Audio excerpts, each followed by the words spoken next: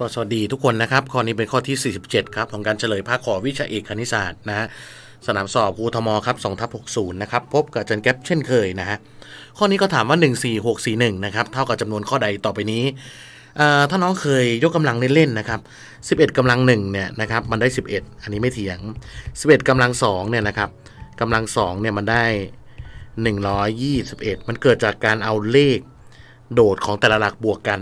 นะครับ จะได้ตัวตรงกลาง แล้วใส่ 1 ประกบข้างไว้ 11กำลัง3เนี่ยนะครับมันก็ได้ 1 ประกบข้างเหมือนกัน ตรงนี้บวกกันนะครับ มันจะได้เป็น 3 ตรงนี้บวกกันจะได้เป็น3นะบวกกันเป็นคู่นะครับต่อไป 11กำลัง4นะครับน้องจะได้เป็น 1 ประกบข้างเหมือนกัน ตรงนี้บวกกันได้เป็น 4 ตรงนี้บวกกันได้เป็น 4 ตรงกลางบวกกันได้เป็น 6 เห็นไหมครับ